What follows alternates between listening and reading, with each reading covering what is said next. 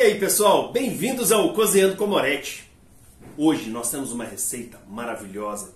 Hoje nós trouxemos uma receita do sul do país. Hoje nós vamos ensinar a fazer, cozinhar um pinhão, que ele é muito utilizado na, na época de junho, julho, nessa época mais fria. Tanto é utilizado para farofa, tanto é utilizado para guisados com carne de porco. É uma maravilha. Mas antes de iniciar nossa receita, eu espero você entrar no nosso canal, dar um like, você que não é inscrito, inscrever-se, deixar o seu comentário, sua sugestão de receita, que é muito importante para a gente, e nos seguir no Facebook, no Instagram e no Twitter. Aí sim nós vamos começar a nossa receita. Então, pessoal, para iniciar a nossa receita, nós vamos estar utilizando um quilo de pinhão. Esse pinhão aqui eu ganhei uma pinha do meu irmão, e aí eu deixei secando. Vamos estar utilizando também uma colher de sopa de sal e água para o cozimento. Agora vamos colocar o nosso pinhão na panela de pressão.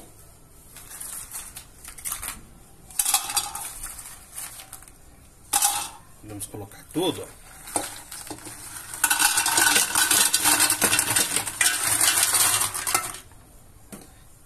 vamos acrescentar a água,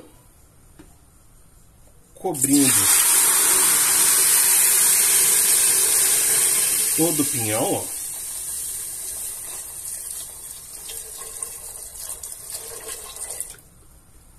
Vamos acrescentar uma colher de, de sopa de sal. Vamos misturar.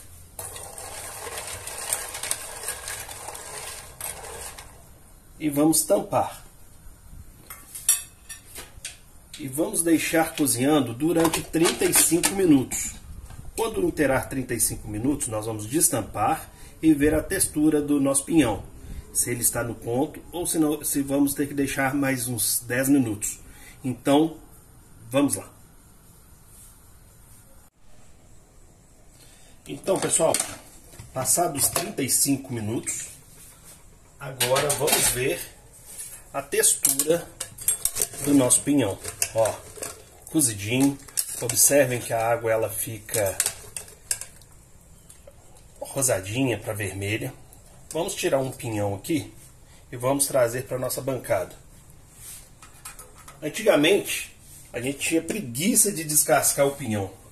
Aí meu amado pai, que também era apaixonado por pinhão, ele me ensinou a usar um alicate. Um alicate de, universal de casa, olha. Aqui a gente coloca ele aqui, ó. Observa, ó. E vai espremendo. Ó. Abriu, ó.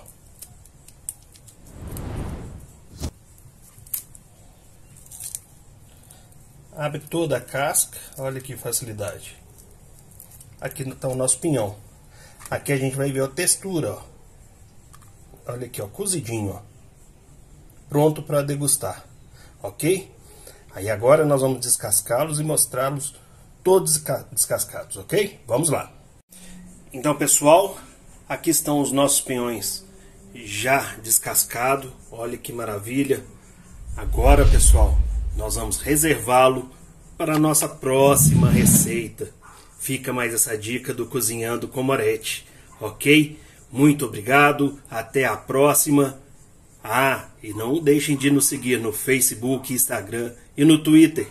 E você que não é inscrito no nosso canal, inscreva-se e deixe seu like, seu comentário e sua sugestão de receita, ok? Muito obrigado, até a próxima, tchau!